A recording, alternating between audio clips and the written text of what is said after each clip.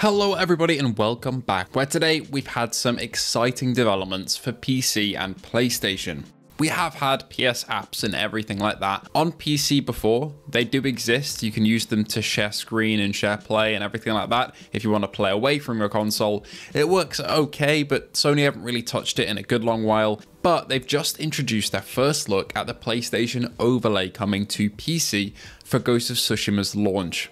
Now, while this is a flat game, this might give us some insight in how Sony are planning to integrate PC support with this new upgrade to the PS PC ecosystem. The details are all in their PS blog, which we'll go through right now. They state, hey everyone, Ghost of Tsushima Director's Cut is coming to PC on May 16th, so very very soon, in just under a month. Today we're giving you all the details on crossplay, support in Legends mode, and the inclusion of a new PlayStation overlay with support for PlayStation trophies and more. They then go on to say that crossplay is around for Legends, and the Iki Island expansion is also on the game, and you'll be required to sign into your PSN account to access Legends on PC. Now, here comes the interesting bit. Ghost of Tsushima's Director's Cut is the first PlayStation title on PC that uses a new PlayStation overlay which includes your friends list, trophies, settings, and your profile. This feature is available on Windows PCs and will be accessible from the in-game menu or for keyboard players by pressing Shift F1 shortcut on your keyboard. While playing the game, you can earn PlayStation trophies just like on PlayStation consoles. Ghost of Tsushima's Director's Cut on PC shares the same trophy set as the game on PS5 consoles. In addition, the PC version also has full support for achievements on Steam and the Epic Games Store. To make use of features like trophies, friends list, crossplay, you can sign in with your existing account for PSN or create a new account. And the use of the overlay is optional.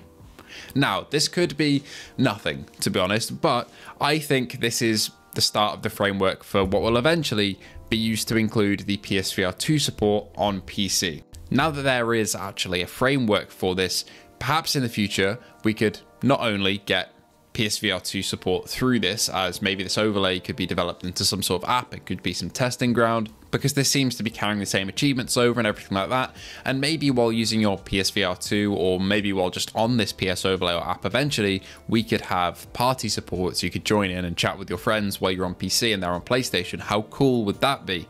But more importantly, I just have a gut feeling that this has something to do with how PSVR 2 is going to connect to PC.